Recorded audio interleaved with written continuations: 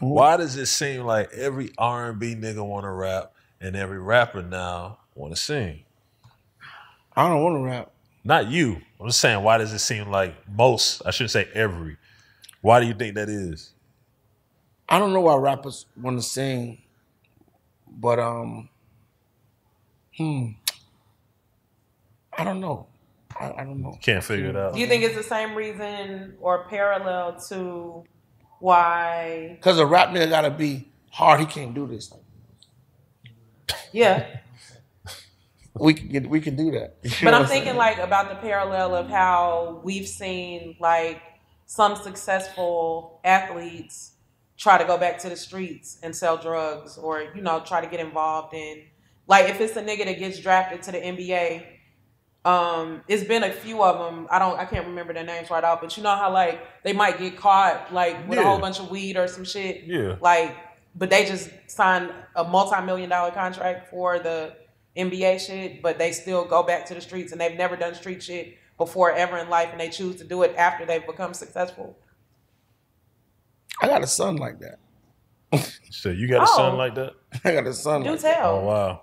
Yeah, my son grew up, you know, in in in in, in, in the suburbs. You know, you have Yeah, yeah. you work hard to change your kid life, and Right. he get around the wrong people, and he don't understand who he is based off of who I am, right and he, you know, goes down the wrong path, and you gotta fight and fight and fight and fight to figure him out and get him back to a reality.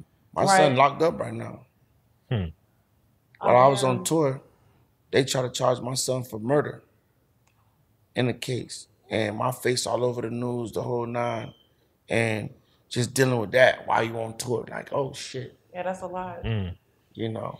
Obviously he's innocent, but you know, It's still there. you can only It's do what you can do. You think all the all the fame and just life and just all of that that that can that can affect you maybe having the time or the quality time to instill some of that in children? No, no, no. I don't think it's that. I think that we spend quality time, but we we we we as entertainers and people of the first generation, we put our all into taking care of our family and making sure the next generation is straight. Mm-hmm. So it's about what goes on when you're not there. Cause you can teach mm. him everything, right? I can teach him the moon. I could teach him how to be, how to save his money.